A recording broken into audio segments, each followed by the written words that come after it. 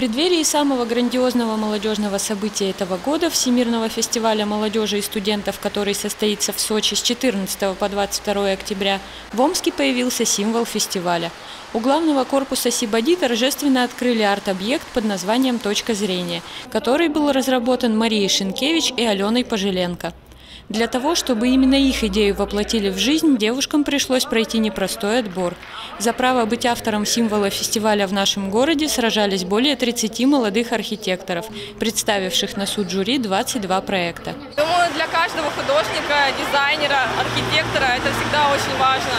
Иметь э, не только на бумаге свои проекты, но и в реальности. Это очень, э, очень тебя радует. Да, это, это нас радует, и в то же время это большая ответственность, потому что это уже проекты, которые в городе, он транслирует некие ценности, и нужно ну, следить именно за этим, какие смыслы мы транслируем обществу. Разнообразие взглядов и мнений – это главная черта 19-го Всемирного фестиваля. И поэтому мы в нашем объекте через символы э, попытались все это отразить. И в названии также. У нашего объекта три точки зрения, с которых можно увидеть целостное изображение.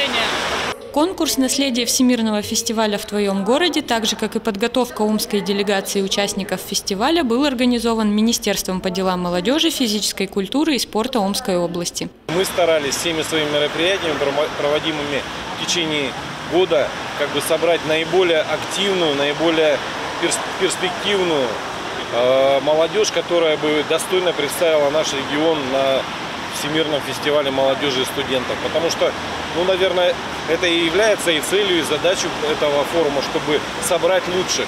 Я уверен, что все, что мы, все, чем мы занимались в течение года, э, в течение года найдет именно вот в представителях нашего региона на этом огромном большом международном событии достойное, так скажем, воплощение.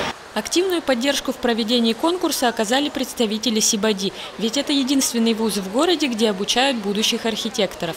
К тому же студенты автодорожной академии вошли в число тех, кто будет представлять наш регион в Сочи.